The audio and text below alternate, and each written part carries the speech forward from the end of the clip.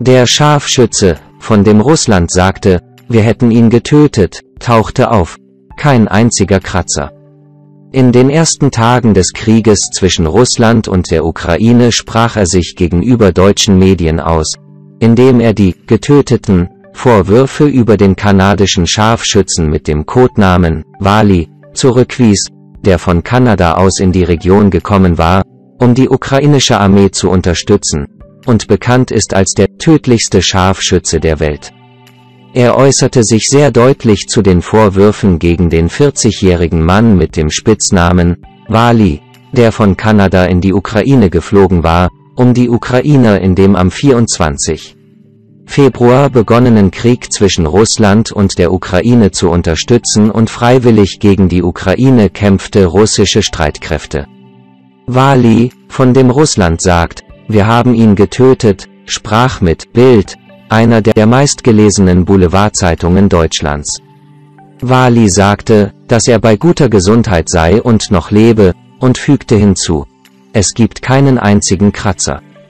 Ich bin ein guter Soldat, ein guter Scharfschütze, aber es gibt andere wie mich, sagte er. Der Kanadier, der sagte, er habe auch im Afghanistan-Krieg und im Irak gegen ISIS gekämpft, und der mit Beginn des Russland-Ukraine-Krieges von Quebec nach Polen ging und von dort in den Krieg zog, sagte, dass die Vorwürfe, er sei gestorben Mariupol hat nicht die Wahrheit wiedergespiegelt. Wali sagte, die Zusammenstöße sind sehr hart, nicht einmal ein Kratzer, aber es war knapp. Das zeigt mir, wie der Zweite Weltkrieg war.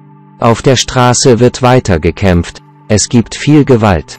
Wir überwinden den Tod jeden Tag, in Hollywood-Filmen sehen Scharfschützen riesig und wichtig aus, aber im Kampf fühlt man sich winzig, sagte er.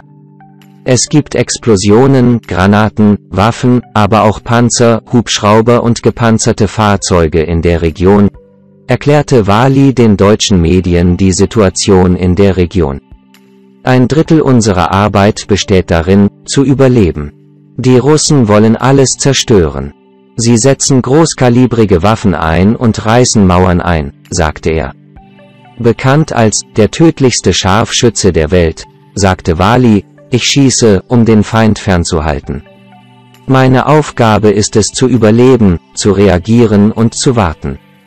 Ich schaue zu, bevor ich eine Person treffe, die in mein Ziel eindringt. Denn diese Person könnte auch ein Zivilist sein, sagte er. Wali sagte, dass russische Soldaten auf alles geschossen hätten.